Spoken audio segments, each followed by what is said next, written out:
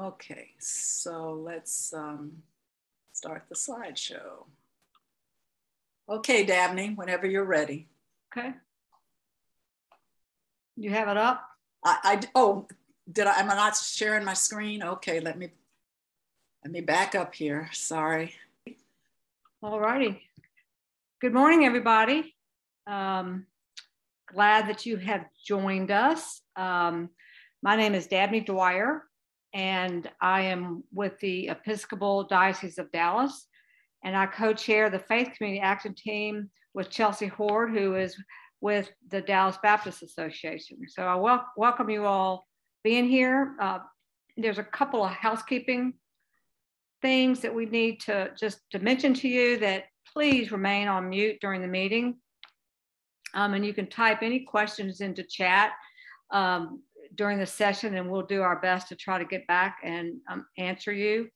Um, if you have some information that's helpful uh, that you can share in the chat, that would be great. Um, and then uh, uh, all the slides and handouts will be emailed to all of you after the meeting. So you'll get everything from our uh, from today and um, our uh, spotlight spotlight speakers as well. So I'm just gonna give you a little brief overview of the history of the coalition. Um, basically, we were organized in 2012, uh, grassroots effort with multiple public and private entities. And all these folks were interested in or had a stake in trying to reduce food insecurity in Dallas County. So over the years, um, through hard work and planning, um, our current mission is to empower Dallas County residents to gain equitable access to healthy food. And the way that we are organized is that we have a leadership team, which you're currently looking at. Um, the, the team, this team currently uh, represents 15 organizations um, that are work, we're all working together to um, mitigate hunger. They, uh, we meet every month. Um, obviously, it's been by Zoom lately, but um, that is when we uh, gather our information. Everybody shares what's going on. And um, the way that we operate is that we each, there are five uh, action teams, and each action team develops their own goals and objectives. Um, and as you can see, I'll give you a minute to look at that. Uh, we, we are the faith community. And if you're on this call, then you are part of the faith community action team. Each action team is led by one of the members of the leadership team. So the faith community action team, um, our uh, goal is to equip congregations to implement one or more hunger solutions proven to reduce food insecurity, particularly among seniors and, and children. Um, and you will see that tool that we use in just a, just a few minutes. Um, the Action Team Leadership Circle is myself, as I mentioned, uh, Chelsea Horde, and Pastor Julius Bamibe, who is uh, with Comforter Christian Church in Grand Prairie. I don't know if Pastor is on the call yet, but um, so that is pretty much it. Our tool that we use to um, assist churches and helping mobilize churches to, to work on hunger in their community is a tool called the Hunger Solutions for the Faith Community. And this is our fifth edition. And Wyanella um, is going to take a few minutes just to go over what is in the, uh, the guide um, and how to access information in the guide. Yes, thank you, Dabney. So we are quite proud that this is the fifth, fifth edition. The first one was published in 2014. So we've been uh, publishing it um, almost annually for uh, since then. And I'm gonna click on this link here. Let's see what it does. And uh, the link there in the agenda uh, that I sent this morning, the link is also there in the agenda. This is our Faith Community Hunger Solutions Action Team page on our website. the Dallas uh, Coalition for Hunger Solutions has, has a website. You can find us at dallashunger.org. And on our page here, you can learn about um, what our purpose is and why we do what we do and who's involved, see some pictures of who's been involved with us over, over the years. And one of the, one of the ways that we help uh, uh, congregations um, reduce food insecurity among their neighbors um, is with this guide. And so if you click on this button here, uh, you can download a copy of this guide. There's no charge. You can print it if you want to print it. Uh, we have made hard copies available in the past when we were meeting in person, but uh, now it's, it's online. And at some point when we start uh, convening in person again, we'll have copies that are available at no charge. Um, this is a guide for congregations seeking to improve food security in Dallas County. But really, any, any, any group of folks can, can take this book and look through it and find, um, find opportunities to, to collaborate uh, on this issue. Table of contents lists the organizations and programs uh, in this guide who are already working to address food insecurity and, uh, and need help. They need time, they need your time, they need resources, they need volunteers. There's an introduction with some contact information here. Okay, and so each page in the guide uh, lists an organization or a program. It gives an overview of that organization, uh, the organization's impact on hunger, and how uh, partners can, can help. And there's contact information. Uh, community gardens, community distribution partnership with Crossroads Community Services, community distribution partnership with Sharing Life, pu public policy roundtables, Eating Well is a SNAP. This is our senior hunger outreach project. Meals on Wheels, we're going to hear today from uh, Tracie Demery with Meals on Wheels, but there are, there are opportunities there to, to partner and collaborate. Out of school child meals, including after school meals and summer meals for children, super schools, uh, adopting schools, and uh, helping schools um, uh, create food pantries within their, within their schools, on their campuses to, to provide some relief to families of students. Uh, senior community meals, these are the congregate meals that are available in, in communities uh, where seniors can come if you're 60 years old and older, or if you're married to somebody 60 years old and older. and have, have a hot meal and fellowship, sorry, uh, daily at no cost. And then there are more hunger solutions at the back here um, and some other resources to help congregations get started if they want to implement one or more of these solutions that are in this that are in this guide. Why so, now? Yes. I hate to I hate to interrupt you. That's um, okay. Is everybody are you everybody seeing the content on the second page? Because you, I think you're still on just the um, the front page heading. Oh, am I? Oh well, my I goodness. can't. I can't. Yeah, it's on. It's on the front page. Uh, okay. All right. Let me let me try this again. Let me stop. I'm really sharing. sorry. I thought it was just me, but oh I, no, I'm, i wish no, no. I would have said. I tried. Let me try it again. Let me try it again. Let me see. I'm going to share my screen. Um, Okay, so now do you see something that says introduction? Hello? Yes, yes. it's good now. Yes. Oh, okay. Oh, well, I'm so sorry. I'm sorry. okay, well, you heard the spiel. I'll just uh, quickly go through some of these slides. This, there's a table of contents. There are like 10 or so organizations and programs listed here, uh, one on each page. And you can there's an introduction that kind of gives you an overview of why we came up with this tool and, and how, how it is intended to be used. Congregations, as well as anyone who is concerned about hunger, uh, can, can use the resources in this guide to try to, to get involved. Okay, so the American Heart Association is one of the organizations. There's an overview here.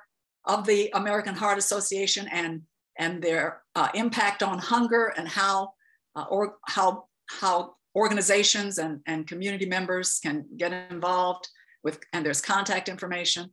Um,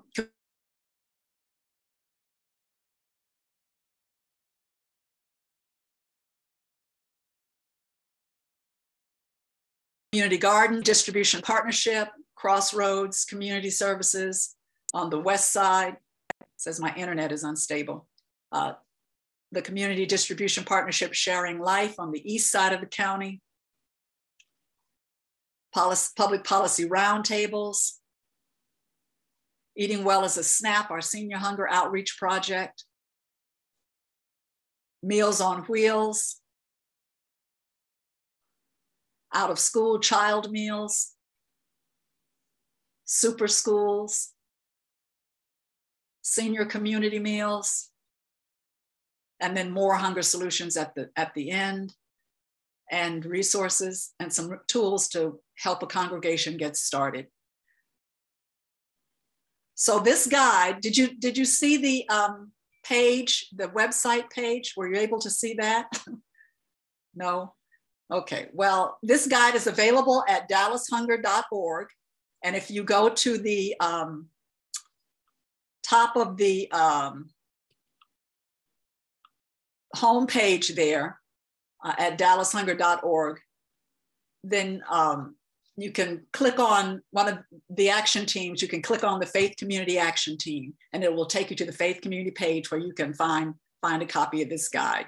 So with that, uh, I'll just turn it over to Chelsea. Let me. Chelsea. Right, well, yes, thank you so much, Wynella. I really appreciate that. Um, we hope that guide will be a useful tool to you and one that you can also share with others. So again, um, feel free to download it online. If you need hard copies, let us know. Um, give us your information. We'll see what we can do about that as well. Um, well, today we are going to be highlighting hunger solutions that focus on mobility. We've got two great organizations represented here today. Um, and speaking first, we are going to have Tracie Demery.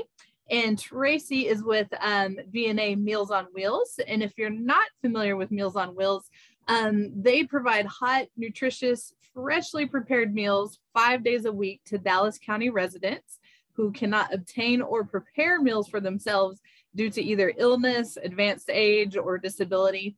Um, and these meals help contribute to the overall health and well-being of participating seniors, including those with chronic illnesses and frail seniors who are homebound. Um, Tracie has actually held multiple positions with VNA Hospice Meals on Wheels Private Care, including management support analyst and routing coordinator, uh, currently, she is the community engagement coordinator, helping corporations connect with the communities that surround them. And so, Tracie, we're so glad to have you with us. Thank you for taking time out to be here.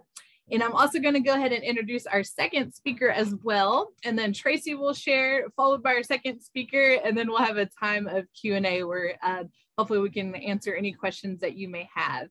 And with that, our second speaker is Jonathan Braddick, and he's the Community Development Manager at Feonix Mobility Rising. Uh, that's a nonprofit ride service organization serving Dallas area residents. So Feonix provides reliable and affordable transportation with which Americans can connect to the lifeline of their communities to live a healthy quality life. Uh, Feonix is dedicated to supporting mobility for underserved populations through community-led transportation solutions. Um, in his current position, Jonathan oversees the AARP Ride 50 program, which is open to people of all ages, but focuses on persons 50 and older and other vulnerable individuals. Uh, Jonathan's previous experience includes six years as a program services coordinator with the North Texas Food Bank uh, where he worked to develop community relationships with multiple nonprofit organizations in North Texas. So, Jonathan, thank you as well for taking time out and being here to share with us today. Um, with that, I'm going to go ahead and turn it over to Tracie, followed by Jonathan. And again, if you have questions for either Tracie or Jonathan, you can just go ahead and type those into the chat and we'll hope to address as many of those as possible when it comes time for Q&A. So thank you so much. Tracie, go ahead. Thank you, Chelsea. Hello, everyone, and thank you for having me. I'm so grateful to be here to speak about Meals on Wheels, VNA Meals on Wheels as a whole. Um, just to give a little bit of overview or about myself, um, I know Chelsea did the bio. I have been with VNA Meals on Wheels for about six years now. Actually, today is my six year anniversary with Meals on Wheels. So that is a great thing. Um, I have held multiple positions at Meals on Wheels, starting with a routing coordinator. Um, I went to a Meals on Wheels conference and that was it for me. This is something that I love to do. It is something that I love to talk about. I love working for VNA because what they stand for and the impact that we have in the community. Um, now I am the engagement, the community engagement coordinator at VNA Meals on Wheels, and we do connect corporations and community partners um, to get them out into to the community to actually assist with making that impact that we do every day. Um, so again, thank you for all having me. Thank you guys for being out to learn a little bit more about Meals on Wheels and um, helping with senior hunger. Um, Meals on Wheels, or VNA, was actually established um, 88 years ago by uh, Sadie Lefkowitz, who is who was a rabbi's wife. She had a few uh, Dallas County nurse friends that partnered with her to go around the um, lower cities or the tent cities in Dallas County, which like East Dallas, West Dallas, to provide um, healthcare, much needed healthcare for women and children whose husbands were off during the Great Depression. Um, during that time, they visited a lot of different counties within, or a lot of different areas within Dallas County to provide this service. Um, in 1954, VNA actually adopted Meals on Wheels um, from the Dallas County Women's Council. And I'm gonna go ahead and share my screen so I can get my slide show up. Give me just a second.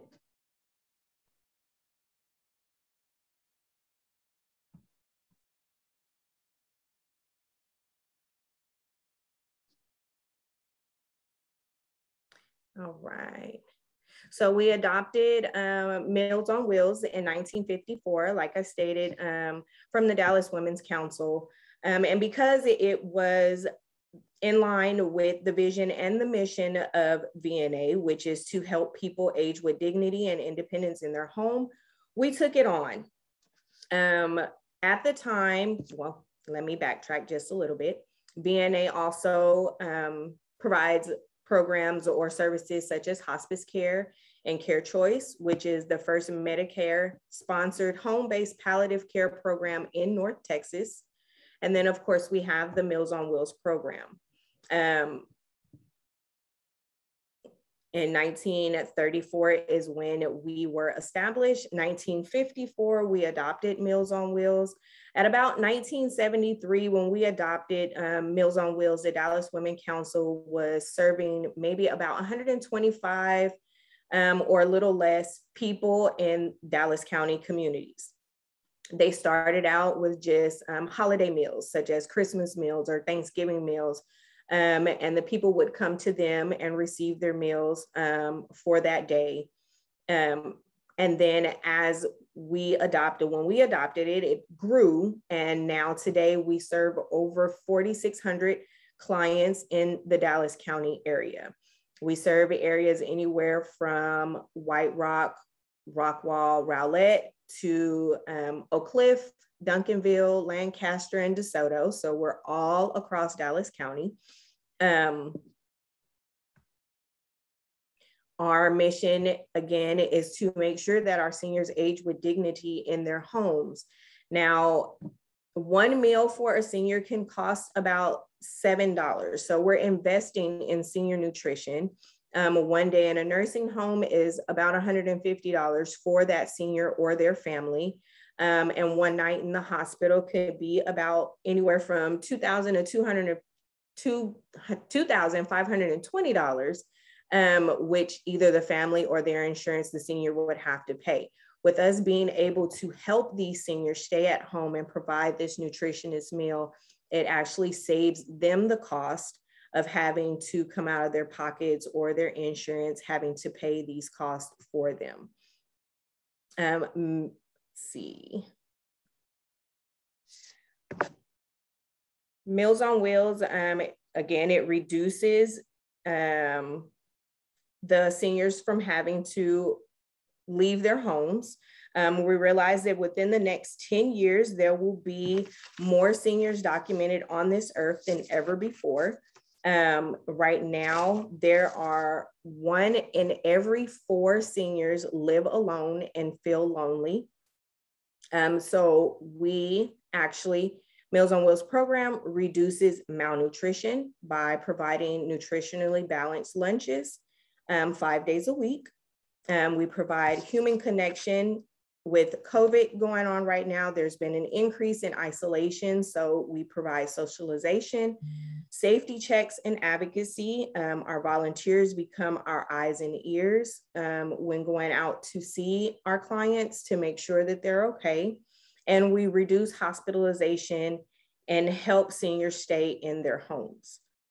Um, we did have a few challenges when COVID 19 first started. Um, in 2020, when everything first hit, March, VNA, Meals on Wheels, or VNA as a whole, decided to scale back on our meal delivery. So we went from a five day a week meal delivery to down to a two day a week meal delivery. At that time, we did take into consideration our volunteers as well as our clients. Um, we wanted to make sure we kept everybody safe. So when we scaled back to two days, it was an all staff all hands on deck operation. So everybody within VNA Meals on Wheels then started delivering meals. We do have about 75 or 73, I'm sorry, paid drivers um, that actually assist us in delivering these meals as well. Some of the challenges that we faced, of course, were safety precautions. Um, the cost of the meals increased more seniors we found needed to be on service um, because of them not being able to now get out of their homes or have the transportation to get to um, grocery stores or having being in areas with food insecurities. Um, and then we did suffer again the loss of, we had fewer volunteers. Initially, um, limited volunteers and in-person deliveries volunteers actually returned back to um, delivering meals. We went to a three day a week meal delivery um, in July.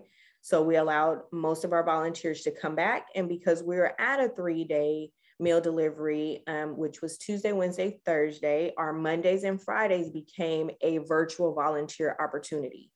These virtual volunteer opportunities um, were volunteers that were calling our clients that we could not see every day, that we were used to seeing every day, just to check on them and see if they um, had any other additional needs that we can assist them with. Um, we had plenty of resources and plenty of um, partners that we can connect them with um, to get them rides or additional resources that they need, help with utilities and things like that. Um, we then also start providing our volunteers as well as our clients with uh, personal protective equipment, um, disposable masks. We had an organization that hand sewed um, 46 to 4,700 washable masks and donated them to us. So we were able to pass them out to our clients and volunteers as well. Um, hand sanitizers, um, things of that nature. We wanted to make sure that our volunteers that were coming back were safe um, and protected so our clients could still be safe and protected. Um, the senior population is very vulnerable, um, which is why, you know, they're most of our seniors or the majority of our seniors are homebound seniors. They're unable to leave their homes. So we wanna make sure that they are safe at all times.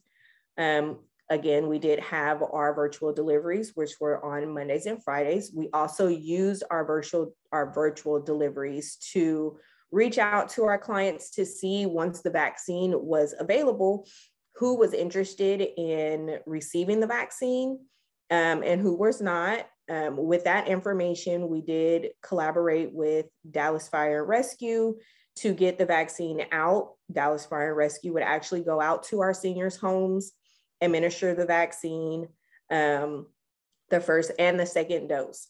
We um, partnered with Baylor Scott and White um, and a couple of other organizations in different areas um, to administer the vaccine as well. They would also go to the clients' homes to administer these vaccines. We wanted to make sure that everyone remained safe.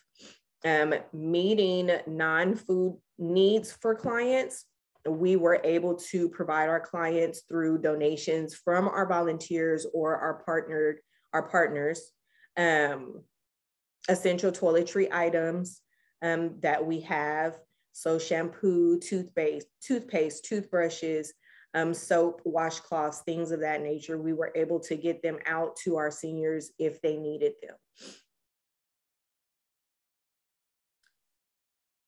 So just a little bit about the functionality of Meals on Wheels.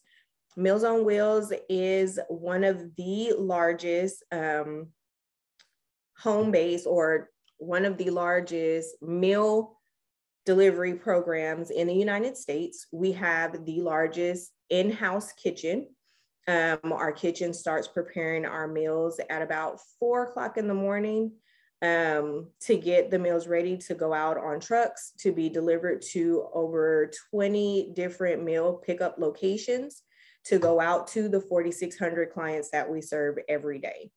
So the video that I'm gonna show now is basically the journey of a meal. It's the from the start of the kitchen preparing to when the volunteers pick up at the depots and to get those meals out. So I'm gonna go ahead and start the video. Please bear with me because I think I have to share my screen again when it starts. Thank you for considering how you can make the most of your lunch break by becoming a Meals on Wheels volunteer.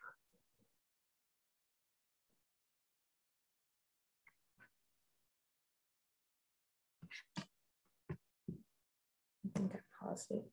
I'm sorry. You can deliver hope to our homebound senior neighbors.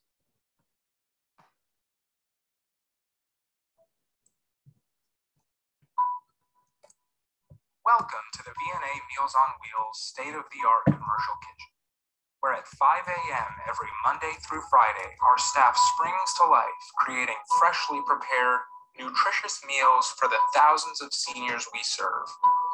As the largest single site provider of Meals on Wheels in the country, the work done at the VNA Haggerty Kitchen is described as a daily miracle.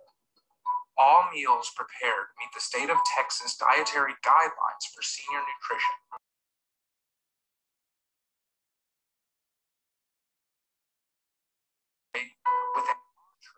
Two sides as well as a bag of refrigerated items that typically include a milk or a juice, bread, and a dessert. With a six week rotation of menu options, VNA surveys clients about the meals and adjusts the menu based on the client's feedback.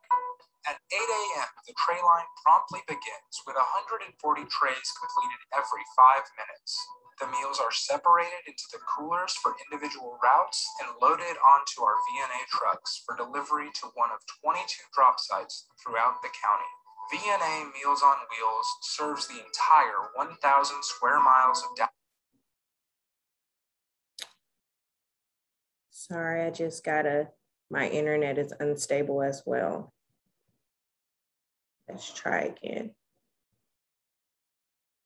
Dallas County including 27 municipalities. The tray line is finished by 9.30 a.m. and the staff begins preparation for the next day. Between 10 and 10.45 a.m., volunteers and paid drivers arrive at their meal drop site to pick up their meal. Mm -hmm.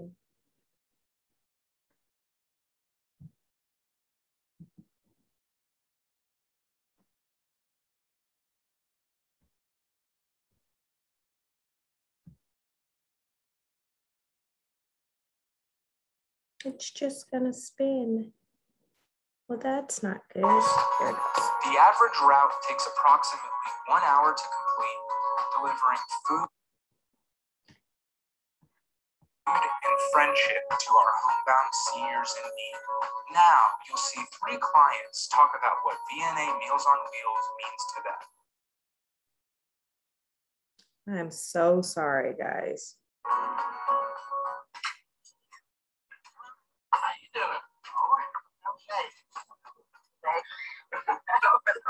You doing okay? You feeling better? Well, I'm feeling better than yesterday. So that's that's great. It's just great to know they're coming. And it's also good to know I'm going to see somebody that day. They always ask me how I am, and that's good too. How are you today? I appreciate getting the daily bill. I appreciate all of the volunteers. And I appreciate the, all the people who are fixing the meal on Meals on Wheels.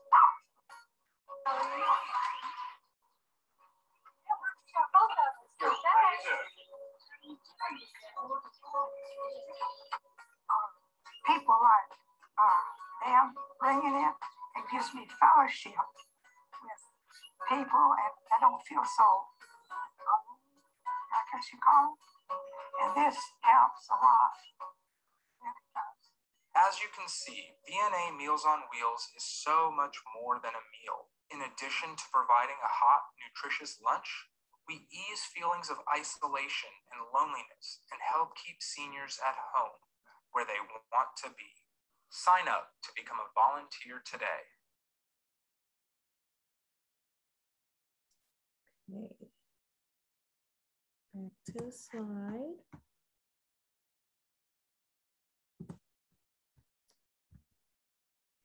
So with helping us deliver, we have corporate days of caring, which are, or community um, days of caring, which are when our community-based partners or our corporate partners come out for one large day of caring. I don't know, some of you may have heard about City Delivers Dallas. This was pre-COVID. Um, they haven't done it since COVID, um, but Bank of America has come out and done a large day of caring to where they deliver the majority of our meals for that day. Um, we just did another, we observed Martin Luther King Day as a, a, day of caring, where a lot of our volunteers come out and serve meals on Martin Luther King Day to um, our clients. Um, just Monday, which we did a Martin Luther King Day Day of Caring. We did 125 routes volunteers delivered. That was over 1,800 meals that were delivered by volunteers that was able to save VNA money from having to pay our pay drivers to deliver these meals. So it was such a great impact. Um, we did have virtual deliveries. Things have changed a little bit. So we're actually not doing virtual deliveries now because we are back to a five day a week meal delivery. Um, our days that we truly need volunteers most are on Mondays and Fridays because of this. Again, our Mondays and Fridays were reserved for our virtual deliveries when we moved back to a five day a week um, meal delivery in October. Everything kind of switched and changed. So it is it's a little difficult getting our volunteers back into the swing of things on Mondays and Fridays because they were used to doing virtual deliveries. Um, and we understand that COVID is an issue and everyone wants to be safe and we want everyone to be safe. But in that, our seniors still need their meals. So we have put different policies and procedures in place to um, make sure that we are in compliant with CDC and um, people are able to deliver meals to our clients um, safely um, we do ask our volunteers to hand sanitize before getting out the car, to deliver the meal, after delivering the meal. Um, a lot of our clients now have it to where they will ask the volunteer, do you mind just placing it right outside the door? I'll get it. Or, you know, have they'll have someone there at the home with them to where they can just receive their meals. Our volunteers and our clients both wear masks during meal deliveries. Um, so we have taken a lot of different steps to ensure that our volunteers as well as our clients remain safe. Thank God that we have not had any volunteers report that they have received COVID um, while delivering, which is a great thing because we've been in this COVID pandemic thing for two years now. It doesn't even seem like, seems like it just started yesterday, but it's been two years. So, so glad that we haven't had any of that. So we have been very fortunate to where volunteers are still willing to say, hey, let me give it a try let me get out here into the community and when they see that you know the humbling experience and the fact that they're helping other people that are unable to leave their homes people who are unable to prepare meals for themselves or do not have the income because they are living below the poverty level um, they see the joy in their face because we deliver more than just a meal. We're delivering compassion and friendship and kinship and um, we're able to assist our volunteers, again, become our eyes and ears. So we let them know if you see anything out of the ordinary um, that you want to report back to Meals on Wheel, most definitely do that. We now have a mobile app to where they don't have to have a paper manifest. It's on your phone. You download the mobile app, you get your client list. Um, the mobile app connects to Google Maps to give you directions to the client's home. It connects to your phone. That way, if you have to call the client to make sure that they're at home, it does that. Um, so we have incorporated a lot of different resources and a lot of different tools to make delivering that much more simpler and to be able to engage more volunteers.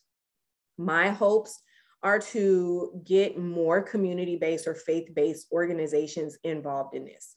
Um, because I feel like we all share the same type of mission, and that is to make sure that our seniors, our elders, um, children alike are all taken care of where they can't be, they can't do it themselves. So, you know, that is what I am hoping for. I'm at the end of my slide. I probably have a little bit of time left. I know I can get a little windy sometimes, so I try to cut myself back from talking so much about VNA and the great work that we do. But I thank you guys again for allowing me to speak on this issue and share with you our story and our journey. Um, and hopefully we have some people who reach out to want to become volunteers. So thank you again. Thank you, Tracie. And Tracie, if you wouldn't mind putting your contact information in the chat um, so folks can have that. Uh, again, if you have questions for Tracie, go ahead and put those in the chat and we'll get to those during the Q&A time. And at this time, we're going to turn it over to Jonathan.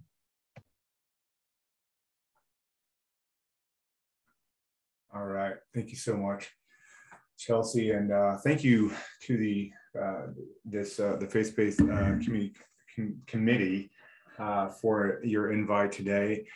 I uh, wanted to start off by just um, adding a little bit more to uh, my own uh, journey. And uh, I lived in, in, Dallas, born here, um, and grew up in Plano, and did work for the North Texas Food Bank for for five, five, four or five years, six years, and hopefully some folks on there that on the on the the call here.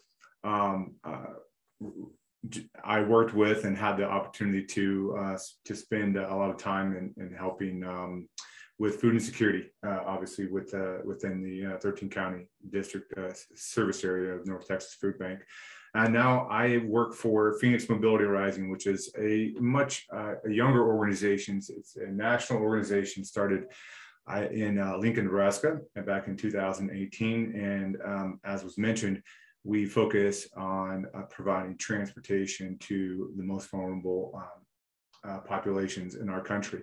Uh, we have uh, we have programs roughly in seven states. Uh, Texas uh, being um, one of the larger ones. That we have another program in Corpus, in Dallas.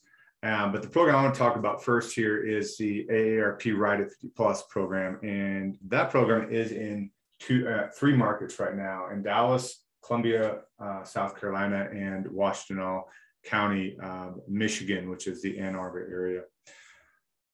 So just to, to start off with what the program is and what its purpose is, uh, it's simply this, it's dedicated to enhancing access to transportation options for older adults in Dallas County. Uh, that, that is our, um, our focus, our purpose. Uh, where we started on. We launched this program back in December of 2020 after a seven month delay because of the pandemic. So we just had our first year anniversary of, um, of accepting and booking rides um, for, for individuals, uh, take, taking, uh, taking trips throughout the county and, um, and, um, and, uh, and, and beyond. So as far as what the program is, uh, I'll, I'll, slightly um, make a correction on, on it's, it's not simply a rideshare program. We have um, access to rideshare and other ride sourcing uh, types of transportation options all in one place. So you've got transit uh, scheduling currently, uh, your rideshare companies, Uber and Lyft. We have a volunteer program, a volunteer driver program, which I'll, um, I'll talk about here after this. And then we have specialty uh, services, which are simply um, small businesses, private companies that do ambulatory and or wheelchair service uh, um, services. And then finally, uh, we have uh, taxi cab service. So uh, what this means is uh, it's, it's mo mobility as a service, uh, accessible to anyone of all ages, um, targeting older adults, 50 plus, living in Dallas County. so the target is all of my outreach and marketing um, efforts go towards, towards the, that demographic. But like I mentioned, it is open to anyone of all age and it's also, uh, there's no requirement to have a membership with AARP. We also provide multiple access points for booking a ride. So if you'll just remember, you can call, click, or tap to book a ride for yourself or on behalf of somebody else. So you call, we have a call center where you'll speak to someone, um, a live um, call agent, we have, uh, of course, a website where you can book a ride yourself or for someone else, or if you have a smartphone, Android, iPhone, doesn't matter, you can pull up um, our, our mobile app. Um, it's called the Feonix app. That's with an F, F-E-O-N-I-X. And you can download that app and you can see all the options um, in, in on your phone.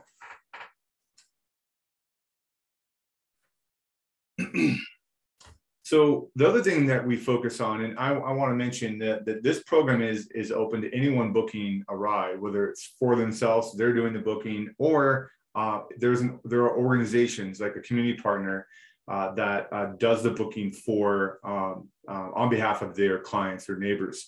So we provide this uh, this uh, free charge. There's no charge to use the service for an organization. Um, the the only cost is the ride, the cost of the trip.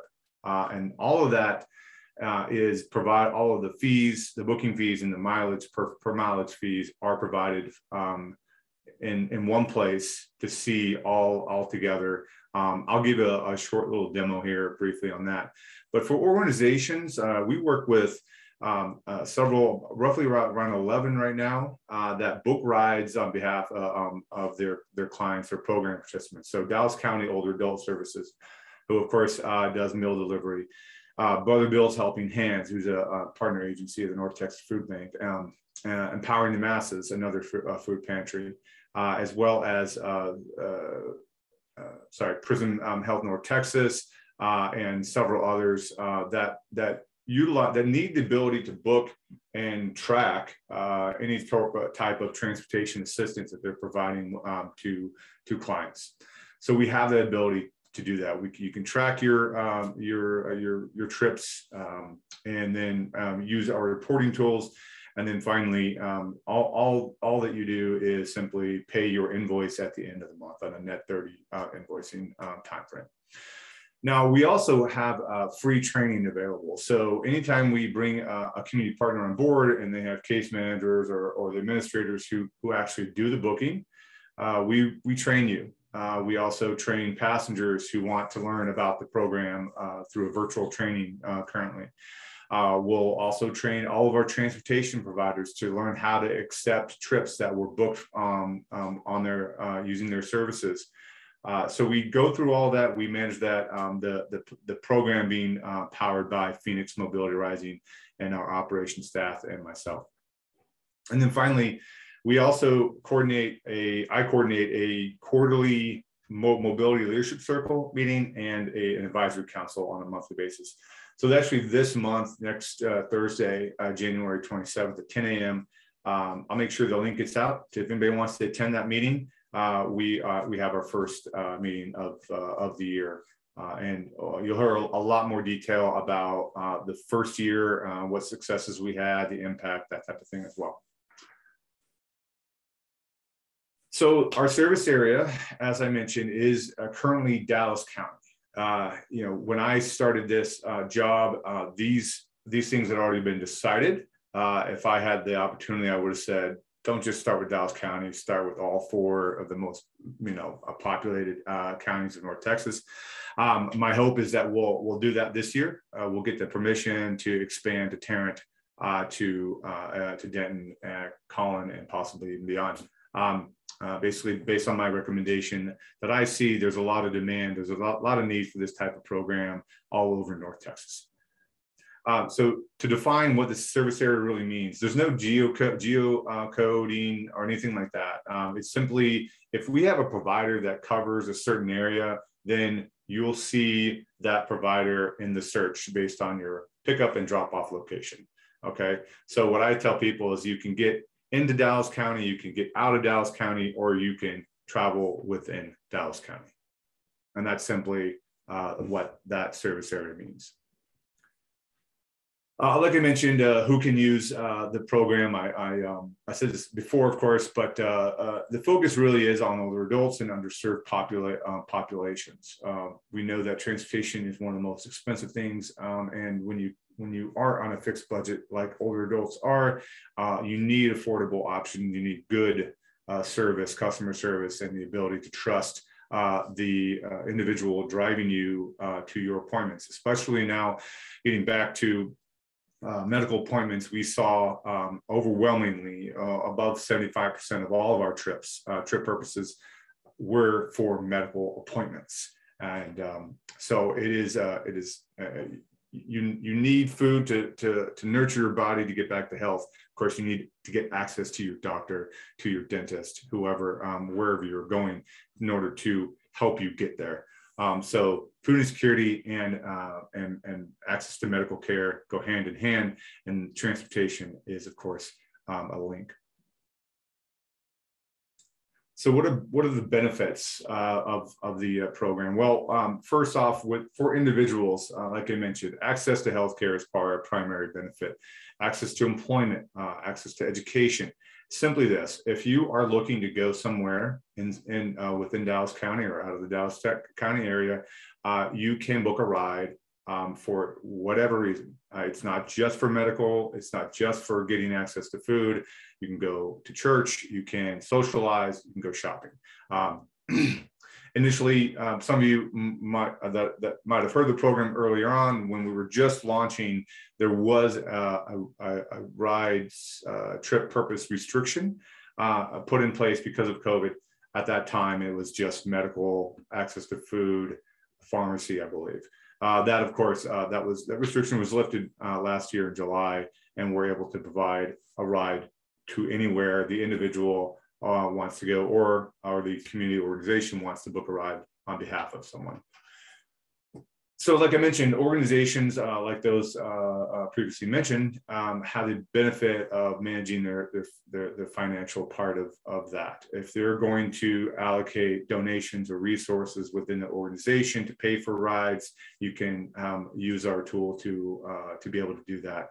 Um, you know, uh, reporting for um, uh, trips by um, by passenger is, is essentially a, um, you know being able to see who's uh, who's been uh, going where and how often. That way you can budget that um, for your next um, or look at it uh, as a way to um, justify a grant. Uh, also, uh, you're you're more efficient. You're not just calling the cab company. You're not just using a personal Uber or or Lyft account, which can be very uh, tricky sometimes um, using those technologies. If you do it all in one place, you not only have access to the rideshare, but you have access to all those other types of transportation options. So it's a lot more efficient when it comes to an organization doing this on behalf of, of uh, clients. Uh, and and we we just uh, wrapped up our first uh, uh year, and we we had our our post uh, year surveys um, from all of our providers, passengers. Um, uh, actually, not just we had focus groups. Um, so that information is is internal right now, but I can tell you that the impact was great. Uh, we had a lot of great feedback. as well as compliments and, and a high high level of satisfaction from the uh, passengers and all that were involved. So I want to point this out um, as, uh, as a, another uh, reason why transportation is so important. Uh, as a transportation as an SDOH factor or social determinant of health. Uh, you, you need access to all these things in this circle. And uh, a lot of times, if you don't have that one link, that missing thing, you don't have a car, you don't have access to a car, you don't always have a reliable ride. Uh, maybe you have challenges um, using certain types of transportation. This is a, um, uh, a great solution uh, to be able to get to all those factors to social services, behavioral health, and so on. Uh, transportation is a surviving service uh, and that will help you thrive. So just to paint a picture here or provide an example, this is Dolores and, and she has type 1 diabetes osteoporosis, glaucoma, um, and has limited mobility. She lives alone. Uh, she is unable to drive and has no access to transportation. Uh, so she's been rationing insulin, resulting in erratic blood sugar. So the solution was uh, um, that she lives uh, within the service area of Brother Bill's. This is an example um, uh, so for everybody, uh, but Brother Bill's being an actual community partner. One of their staff members books rides now on behalf of Dolores using the AARP Ride at 50 Plus program to regular medical visits and ancillary care, including lab work and trips to pharmacy. now she self-reports that she has since controlled blood sugar and improved mobility and improved overall health. Uh, so just another kind of case for transportation. Uh, the, the National Academy of Sciences Transportation Research Board study indicating indicated that providing transportation to preventative and routine medical appointments was estimated to save over $927 uh, uh, per patient with diabetes, $333 per patient with asthma, and $2,743 per patient with heart disease. So if you can't get to an appointment, uh, you're obviously, you know, you're the, the, the doctors, uh, obviously the hospitals are, are wasting resources. Uh, why not provide that trip for someone who has trouble getting to their appointments? All right, so at this point, I just want to go through some slides here. Uh, this is uh, this is going to look like if you were Brother Bill's uh, staff member or a volunteer at a church or wherever you had access to a community account to book a ride on behalf of, of somebody else. Maybe you um, uh, you, you want to uh, uh, excuse me, maybe you want to book on behalf of, of churchgoers or um, your, your congregants, uh, or you want to um, uh, provide this uh, as an additional transportation or additional social service uh, within your organization. so of course you have a login screen, different, um, you can set up different users. So you have, so certain people have, um, have that ability.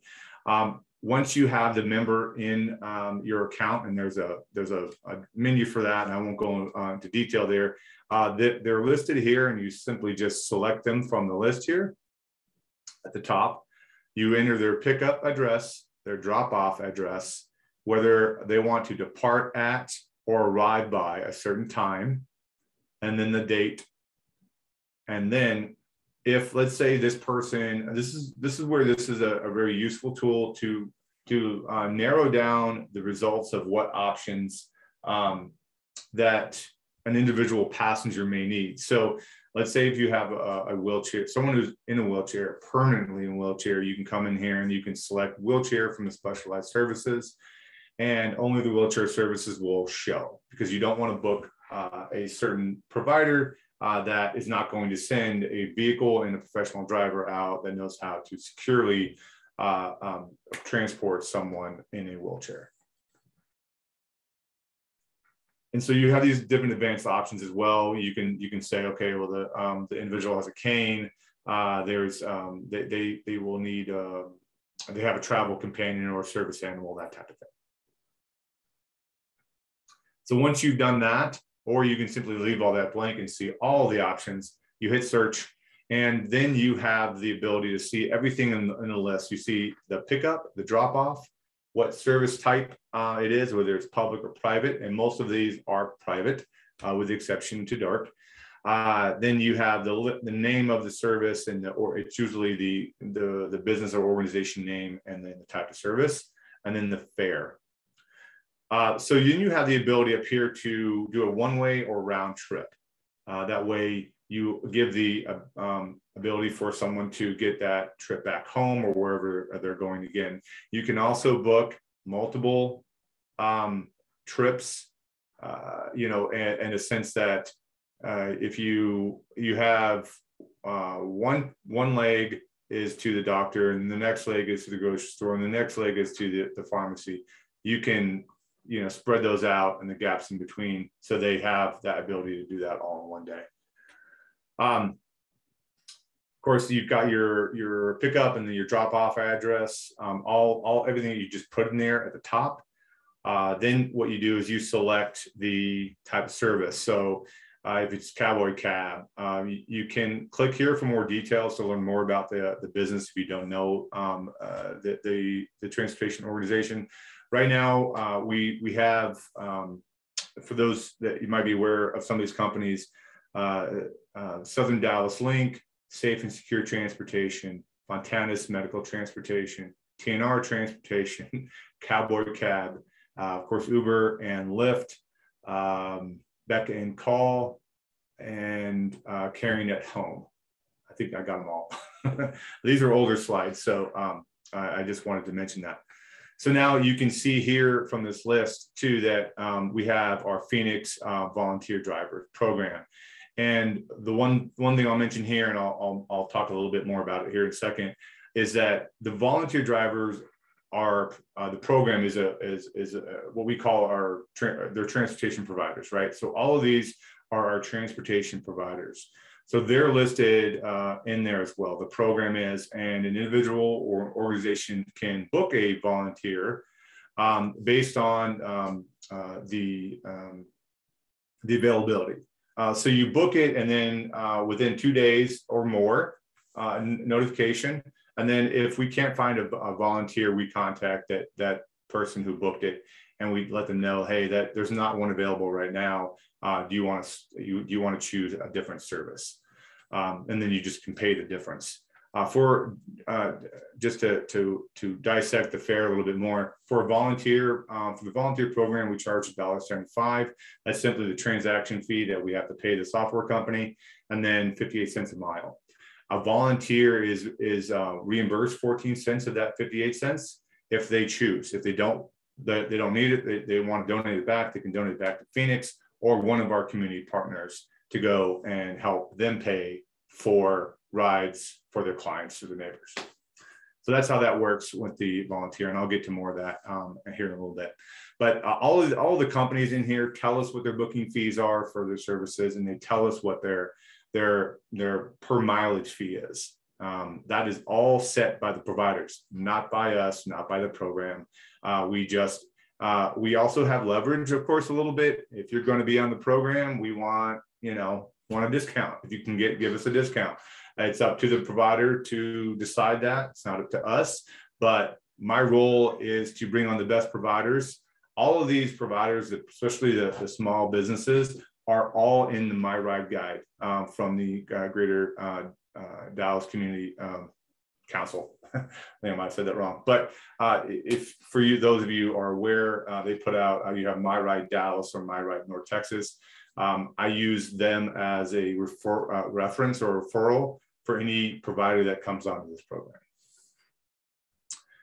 All right, so to, to finish up and book the trip, what you're going to do is uh, you're to cho choose that trip purpose. You'll have a pickup or a, a drop off entrance description. So, you know, if you've got someone in a senior residences and you've got a gate or you've got a code or you've got a building number, it's great information to put in there. So the driver, the transportation uh, provider, dispatch can provide the information to the um, end driver. You can also put additional notes here. uh, uh, describing maybe um, something about the the um, the passenger uh, that that of course still it, it uh, uh, isn't uh, doesn't um, go against HIPAA guidelines, but let's say um, you know the in, individual has a cane or the individual is hard of hearing or individual is, is deaf. I know that's personal information, but it's also um, when when you you sign up um, uh, for the program, you take the the the the, uh, the trip. It's information that we do need to to to to know. That way, the driver can do their their best and provide the best service. Um, you can also do re reoccurring trips in here as well. So if you know you have an appointment uh, every other week or so forth, uh, then you can do that. And then currently we do have a COVID um, waiver that everybody has to call this number here and listen to recording and and say yes or no to um, uh, because of um, uh, of course the, the pandemic. Um, once that's done, then you hit um, book trip. And then for, uh, again, this is for only community accounts, okay? We don't do invoicing for regular passengers who pay for their own trip. Uh, at this point, um, a, the community account um, user would just simply book uh, and pay and pay later. And then we send you an invoice. Um, and then that, that's a, again a net 30 um, uh, billing. So a church can can fund rides. Uh, any organization simply can can fund rides um, uh, in order uh, for their um, for themselves, for their community members or neighbors, whoever. Um, if this was a passenger, it would just go to a credit card um, um, or payment screen where you just uh, put it put in a credit card or a debit card. There is no cash transaction at all um, on this program. If you want to tip the driver, you can. It has to be in cash, but you can't put a tip. Um, um, um, you can't include a tip in the in the trip. All right. So I'm going to just briefly go through some stats here. This was actually information from March 2020 and not from Dallas. This is from the, the original pilot location, which is Columbia, South Carolina. Um, we just got back this information as of, actually of last week, and it's it's again not uh, I cannot share it yet. Um, so I, I, encourage you to go to our our uh, mobility leadership circle uh, meeting next Thursday at 10 a.m. And you'll hear a little bit more information about what they're able to share with you right now with our last year impact here in Dallas. But this gives you at least an understanding about, um, you know, this program, um, you know, market all through all markets and, and its impact so far. Some good quotes here, you know, basically the freedom to be able to go where I need to go. You know, it's affordable because there are affordable options uh, lets you be more mobile to go to more places, uh, again, that you want to go. Um, I don't have to rely on my kids to take me around. Uh, so, so definitely some good testimonials that that they received from this program, which launched in Columbia in 2018. Um, so it's been it's been going now for um, you know total of uh, uh, four years. And then we they got a recommendation 81% uh, again. So that it's nothing you know to uh, um, uh, yet. I can share about Dallas results, which I will again next week. At this point, mm, it might be, well, you want to wait till the end for uh, all questions. So I'll go ahead and jump over to um, the volunteer driver program now. And uh, give me one second here. Oh, and I want to say if there's anybody who uh, represents an organization and that wants to uh, add this as a um, you know, a service that, that you want to provide your congregants or whomever, I can, we can do, we can do all that. There's a project kickoff um, and also a tra user training that, that we can put you through. Again, all of it is, is free of charge. All right, let me jump over to my next presentation here. All right. Okay. So as I mentioned, Feonix Mobility Rising is and has been recruiting even through the pandemic. Uh, we've recruited so far eight, uh, six, 16 volunteers since we launched last year. Uh, one of them is including myself, so I can I can take that as a as a uh, as an extra number. Um, doing all virtual connections, as I'm sure a lot of you are also aware of, and, and being able to do that. Sometimes we were able to get out last year, uh, but um, yeah, uh, it's it's been tough, but we, but we've have. I will say this: Dallas is a special place. okay, now all of you know this, it has the probably the most caring people uh, I, I think I've ever experienced and encountered because of what they're willing to do, um, even during a stressful time. Um, we didn't, we haven't seen the reaction and engagement in other markets um, that we have had seen here. So uh, I want to lift up, um, and not just Dallas, of course, the entire North Texas area, because a lot of our, our volunteers actually don't even live in the county. Um, they'll live outside of the county or, you know, a little bit further away and they'll drive. I think we're all um, probably pretty comfortable driving too. All right. Okay. Uh, so a little bit more about, about Feonix here. Again, uh, we're a registered 501c3 nonprofit launched in 20, uh, 2018. Um, I think we've talked about them. Th this is an old map, uh, but this does tell you some of the, um, this, I think we're at four states here. We're at, I think, three more now. Um, but some of the communities that we're already in, um, all of these communities have a volunteer driver program. Uh, so uh, that that's that's what tells you that. And then I think now we're also in Mississippi. There's a volunteer driver program there. Uh, we are. Let's see what else. Um, I might be forgetting one or, or two others. Um, all right. So just to kind of give you a general definition of what we think a volunteer driver is. Uh, of course, first off and for, foremost, a helping hand, a kind heart, someone who will help help open the door, even offer um, offer a, a, hand into the vehicle, um, a facilitator um, of care, maybe helping to link them with other resources that the passenger may need, um, and sometimes even in some um, some instances a, a life changer uh, for someone um, in, a, in a rough spot. So these are responses from volunteers that we get and what, what drives them to, to volunteer. Uh, certainly to make a difference in their communities uh, is the first and for, foremost thing. And then supporting local organizations. Um, we, we can all um, get behind that. So a volunteer driver uh, will take any type of trip. Um, again, the AARP Ride 50 Plus program, you can book any type of trip you need. And so you can take uh, um, uh, maybe someone to medical, like one of them, the, the, the most repeated destinations is Parkland Hospital. Uh, so everybody, every volunteer gets probably two or three of those trips, you know, in the course of, of the time that they spend um, volunteer uh, volunteering for us. Uh, they um, uh, they might take someone to the grocery store. Um, it is up to the volunteer whether they want to go beyond the vehicle.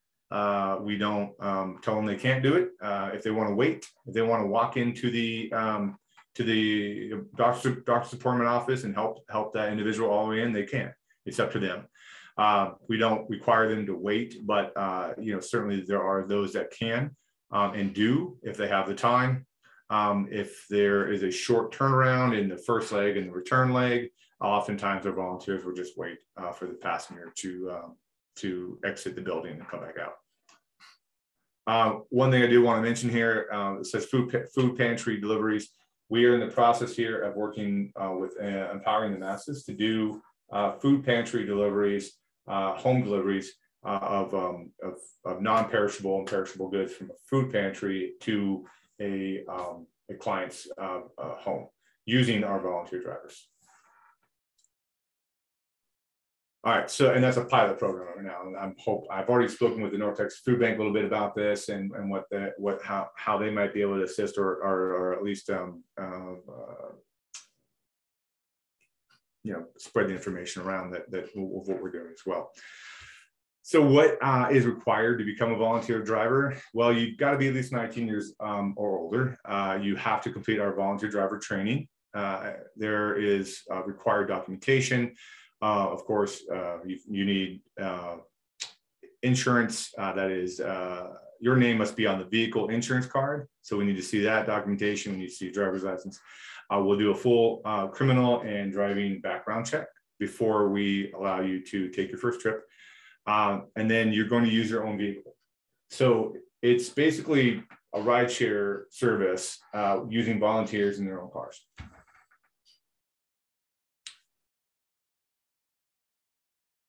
So of course we have uh, a lot of local support, as I mentioned, um, and we actually do have organizations that um, will offer this as a volunteer opportunity through their own services. So they can do trips for their own clients and, and, and neighbors. So you look at it, you've got someone in the organization who is just, you know, maybe getting burned out a little bit uh, when doing one thing and they want to switch it up. And they're like, hey, this would be great. I can still volunteer for you Brother Bills as an example, um, to do um, you know some passenger trips for for them, or or just in the general pool of trips that are available. Uh, one thing also too also we that we do with our volunteers is that we'll we'll we'll gather if we can. Um, you know, we we did get a chance to do that a couple times last year uh, for happy hour, but mostly it's uh, virtual uh, with some um, uh, lunch and learns where we we we we tell them their impact. We we show them what is happening, what they've done, um, and uh, we've got some great in, incentives uh, as well. Uh, one one incentive is if they do uh, accept it, they again accept that mileage reimbursement. there is an, again an option to donate that back.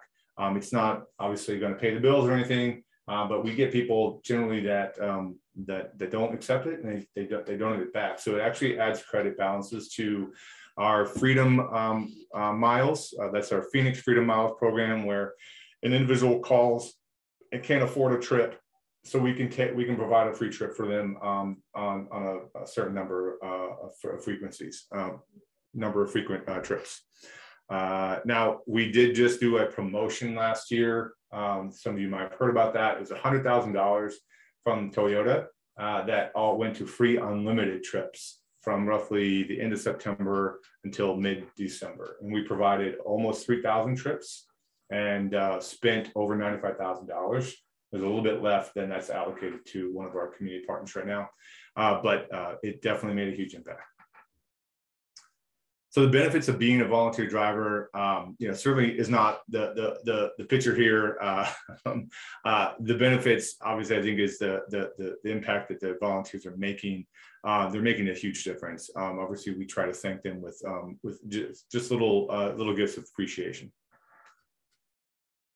Uh, a driver does not have a set schedule. Uh, what they do is simply log into our our volunteer um, driver portal and they they view trips that have been broadcast to everybody.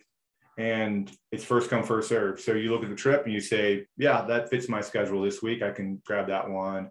Um, i can't do the first leg but i can do the return leg you know or i can do both legs. Um, or you know i take wednesday and i look at and i try to grab all the the wednesday trips because i'm off and I, I feel like i was want to drive around.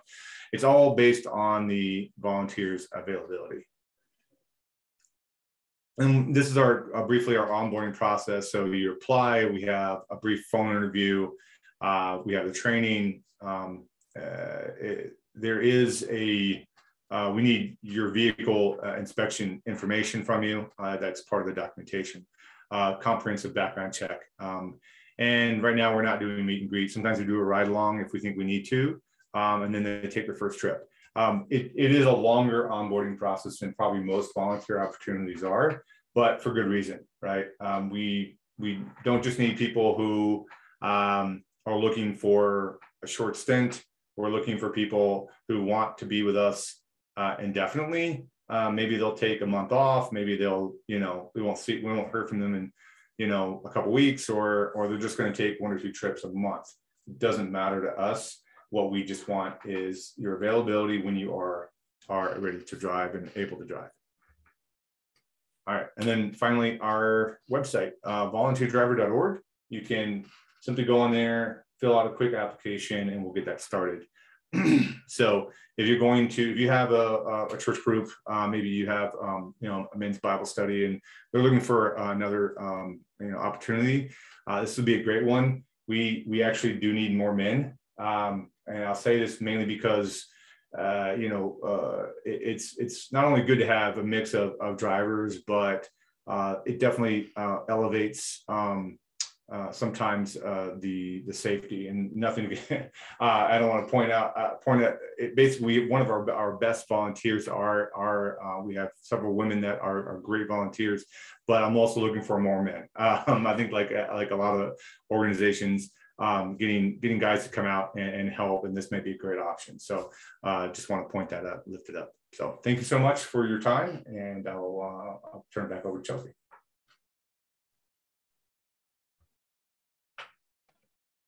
Right. Thank you so much, Jonathan. Thank you, Tracie. Um, at this time, we're going to go to the chat and answer any questions. So if you haven't put your question in the chat, go ahead and do so at this time. Um, we have a question about can we get copy of the presentations? And YNL responded that yes, um, they can email those out. So if you uh, registered for the meeting, we've got your contact information. Uh, we can get those to you. You'll notice that Tracie's contact is up there. And then Jonathan, if you wouldn't mind dropping your contact information in the chat as well, that would be great. Um, and it looks like our first question is uh, for Jonathan. It says, how much is the charge to the individual? Can I order a ride for myself or do I have to go through a certain group? Yeah, definitely. Thank you. So uh, one of the great things about the AARP Ride Plus program is that when you call or you click or you tap, however you get access to the program, you can view all your fares based on your pickup and drop off location. So the fares will be listed there. Um, you can book that ride for yourself, or you can book that ride for uh, for somebody else. Maybe you have a parent, or maybe you have a neighbor that you look after and you check in on from time to time, and you want to help pay for their ride. You can do that yourself. Um, all all um, all options are available. Great. And then um, a similar question here. Uh, what is the name of the app and website address if I want to schedule a ride? Can you put that information in the chat? Yeah, definitely. Uh, yeah, the uh, Feonix um, app. Uh, so it's F E O N I X. Okay, and you can find that both in the uh, Google Play or or iPhone um, iPhone Store, iPhone Store, Apple Store. Um, and then uh, I'm typing phoenixride.aarp.org uh, there, um, phoenixride.aarp.org. Uh, you can also find more information at another website. I'll drop it in there right now.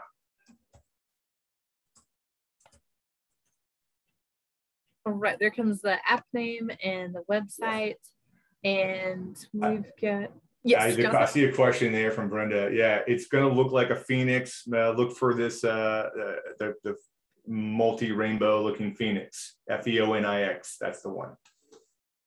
There you go. So if you're looking in the App Store, look for the Feonix. That's going to be the right one to download. Good question. Uh, and then we've got, can you provide a list of organizations um, that offer the program to residents, such as Brother Bills? So is there kind of a database people can go to see if their organization's already a part of this or offering services? Right. Yeah, definitely. I can uh, provide a list of those here. Um, I I don't control that um, whether who, who gets a ride from them or not, right? So, um, it, but if you have, let's say for Brother Bills, because we know a lot of us know about them, uh, they they do service at seven five two one two area, and if you're in that area and that person's there, then they may be able to assist you. So I'll, I'll put those partners in the, in the chat.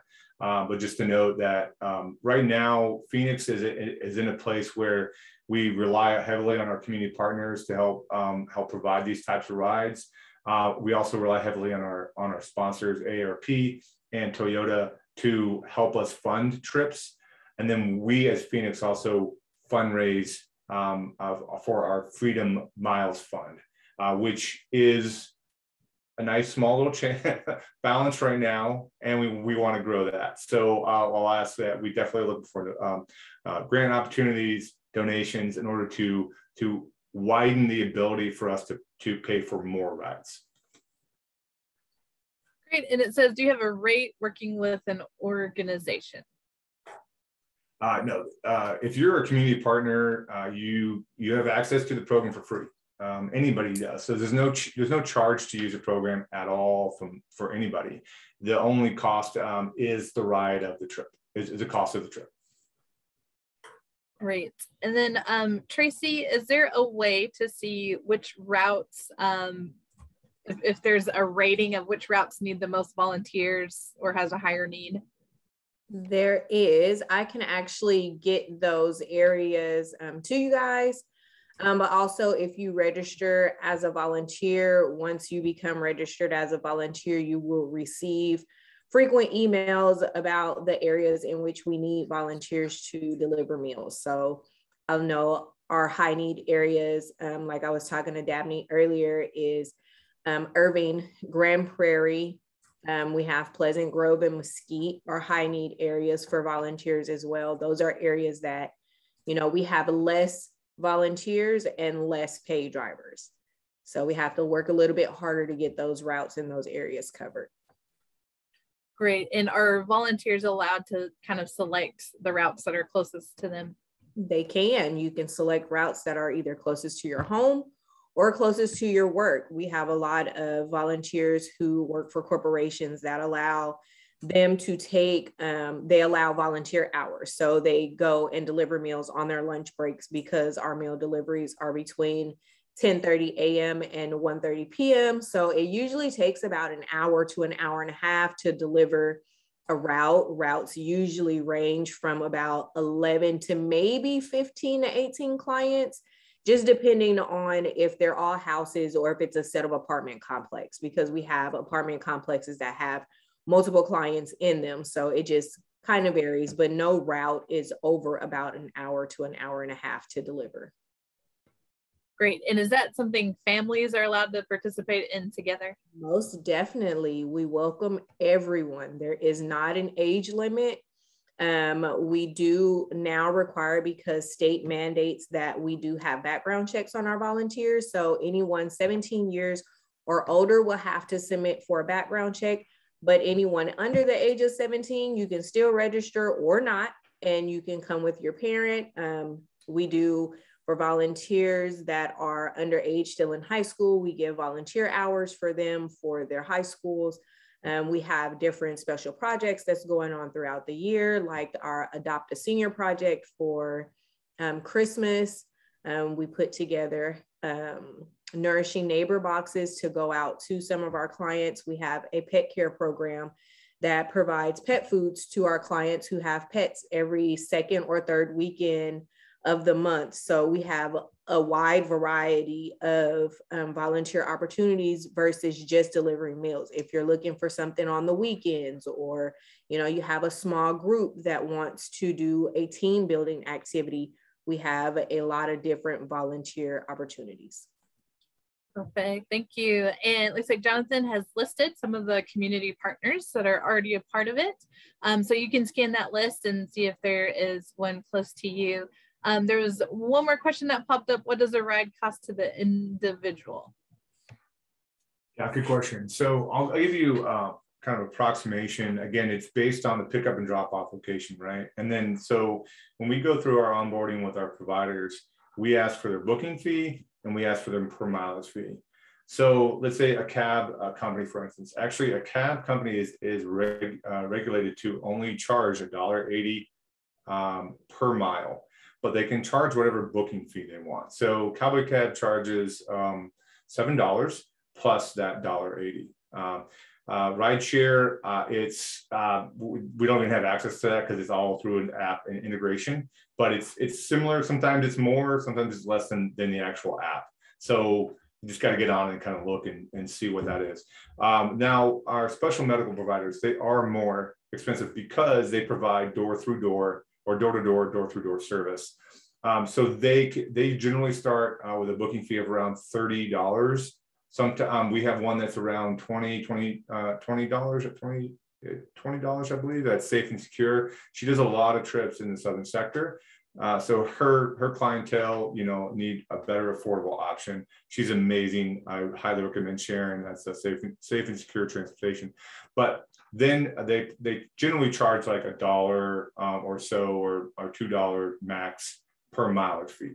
So you're your five to 10 mile, uh, five, 10 mile trip can be 35, uh, 40 to $45.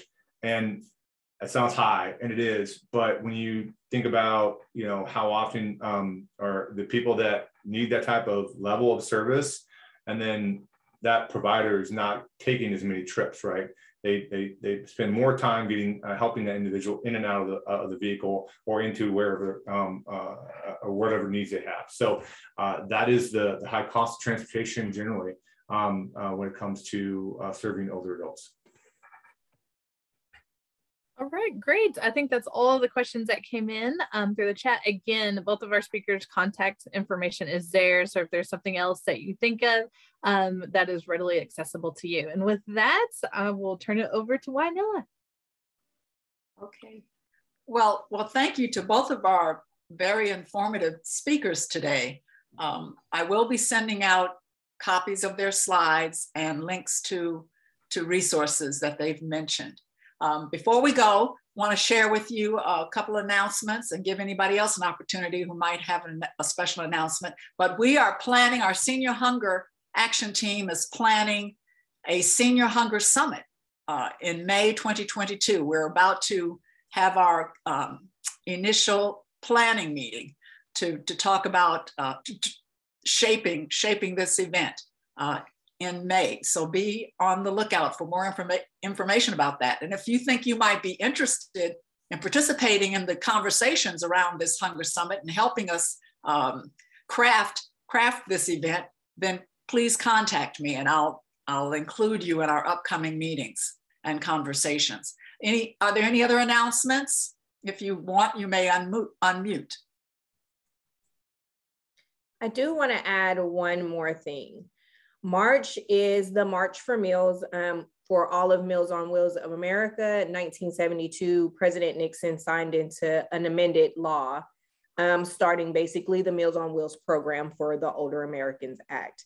Um, so we would love for you guys to come out and be a part of the March for Meals campaign. We do a campaign week the whole month of March, we are um, looking to onboard as many volunteers as possible to kind of get everyone out into the community to help because of this particular campaign.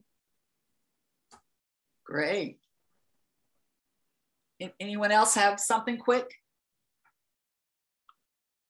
Okay, well, our next meeting is April 28th, 1.30 p.m. We're working on um, topic uh, for that meeting and, and speakers for that meeting. Hope to see you there. Look for information about that. Check out our website, dallashunger.org. Um, check us out on social media. And uh, if you want a copy of that Hunger Solutions for the Faith Community Toolkit, you can find it on our website. Uh, go to the go to our website, click on uh, action action focus area, look for Faith Community, and um, go to that page and you can download a copy of that toolkit.